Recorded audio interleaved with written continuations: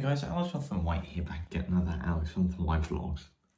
This is a different bathroom, alright? It's not the yellow one. It's not the classic, iconic yellow bathroom.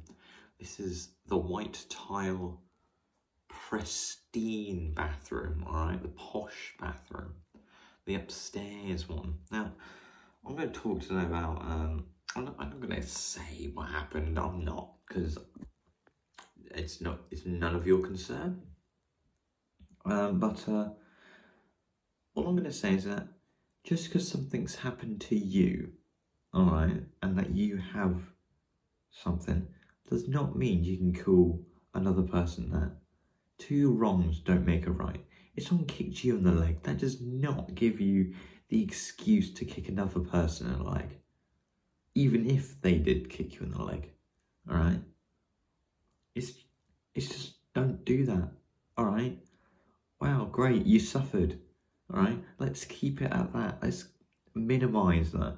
All right, we shouldn't we shouldn't build as much pain in the world. No, no, no, no. Let's not do that.